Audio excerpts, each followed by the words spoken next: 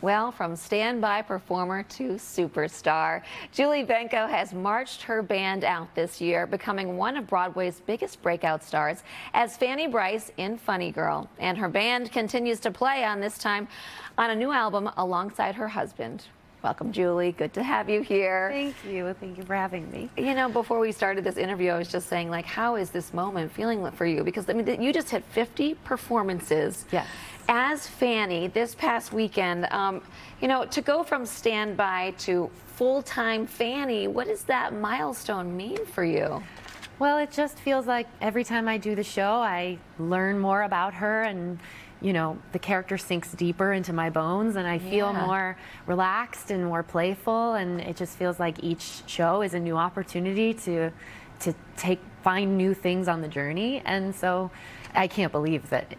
well, because you know we were saying that this rarely happens that the standby yeah. gets to take over for the role, and you know a lot. There's been a lot of talk about the casting. Mm -hmm. um, you know, to go from Beanie to now you, mm -hmm. and then Lea. You you've said that you're part of the Fanny pack. You've kind yeah. of put a positive spin on it, which I love. Um, but how has it been, kind of keeping that ship going?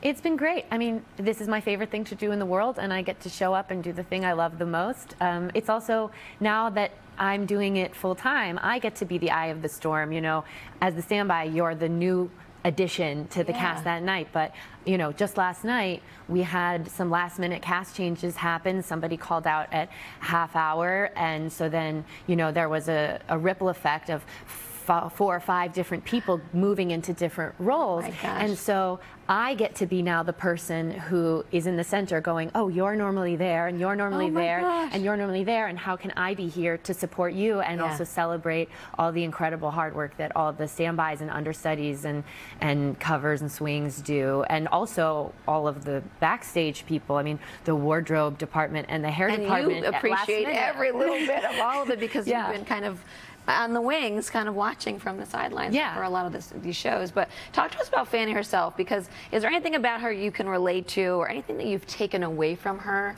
in doing this part? Well, Fanny was a very, very hardworking person who was, she dedicated her life to the theater and the arts. And so obviously I feel right. a huge um, kinship there because I, I'm, you know, in that same tradition.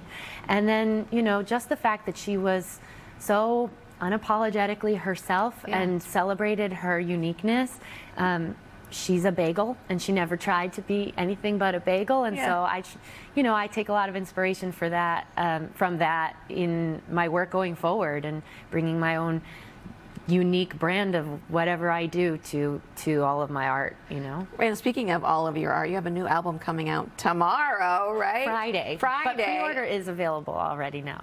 okay, so you're doing it with your husband. It's yes. called Hand in Hand. Tell us what we can expect. What's the concept of the album? So it's a duo album, um, but even though he's a pianist, he's a jazz pianist and composer, we don't, I, there are some songs that are just me singing and uh, just him playing piano, but we also have a number of other instruments that we play. We make all the sounds yes. on the album. There's like a flute, a clarinet. Yes, I play like... flute and clarinet, and Jason plays percussion and a number of keyboards and, and uh, a washboard tie, which was a gift that I got for him for his birthday a number of years ago. But That's what you do when you're musical partners first yeah. before you met. You buy washboard ties. Exactly. You get each other. Yeah. um, and uh, we do a mix of songs. We do some Broadway covers. There's a song from Hadestown. We do People from, from Funny Girl. We do um, some jazz standards like The Nearness of You, some of Jason's original compositions, um, including one that he wrote for me to walk down the aisle to at our wedding. Oh my gosh. And then um, we also do some classic rock. We do a Janis Joplin song. So it's a very eclectic mix yeah, of music. Like and I think, you know, but the thing that binds it all together is like, this is music that we love to make. We weren't trying to fit into one genre. We're trying to bring yeah. our own unique, you know, spin, spin on, on, everything. Yeah, exactly. Well, clearly you're meant to be together, uh, and it's and congratulations on all your successes. It's Thank been, you. It, it's a pleasure to watch. And Julie and Jason's album Hand in Hand is out Friday, so be sure to check it out.